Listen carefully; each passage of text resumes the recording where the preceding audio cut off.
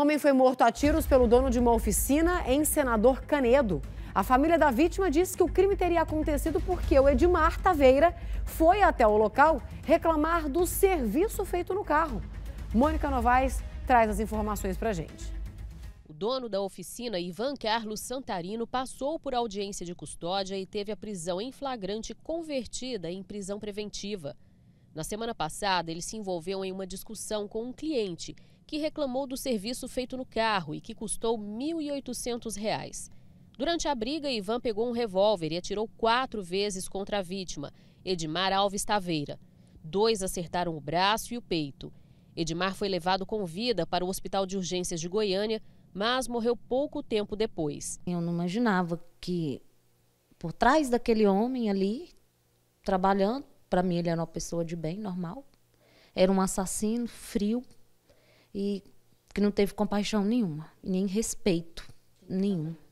Para mim ele tem que ficar preso. O crime foi flagrado por imagens de circuito de segurança. É possível ver quando Ivan sai correndo apontando a arma atrás da vítima, que em seguida cai no chão e ainda leva outro tiro. Edmar trabalhava como motorista de aplicativo e, por isso, o carro era o principal ganha-pão da família. Assim que ele começou a mexer na parte de cima do motor, ele disse para nós que era um valor de 1.300. Aí de 1.300 ele subiu e o total a gente deu 1.800 para ele. Aí depois eu pedi nota, meu marido pediu a nota, ele apelou, ele falou que do serviço dele ele dava garantia para gente. Se sentiu ofendido. Se sentiu ofendido. Eu perguntei onde ele tinha comprado, que era só ali gente ligar lá. E eu não queria nem, nem tanto nem a nota, era só nem que fosse um cupom das peças, igual eu tinha do outro. Aí meu marido foi e falou para ele: Olha, mas eu tenho que dar a nota. Aí ele foi e falou assim: Cara, desse jeito no áudio, você é doente.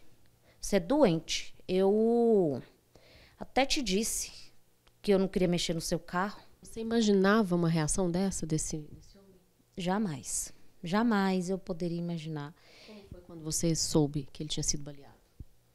Eu estava lá na hora. Você estava junto? Tava. Aí eu não imaginava, ainda falei para eles. Falei, gente, eu não imaginava que esse homem ia fazer isso, porque não passava pela minha cabeça. Lá era a casa dele, tinha filho, filha, neto. Tava com intenção de matar. Ele tava com a intenção de matar. Ele acabou com a minha família. Era a base que eu tinha. Eu nunca imaginei que eu ia passar por isso, que eu poderia poder somar sozinha, que eu não ia dar conta. Assim, não estava esperando por aquilo. Meu Deus, gente, porque foi reclamar de um serviço. Já imaginou? Se todo mundo que reclamar de um serviço, a pessoa se sentir ofendida, que ouviu a reclamação e matar, é assim que se resolve as coisas?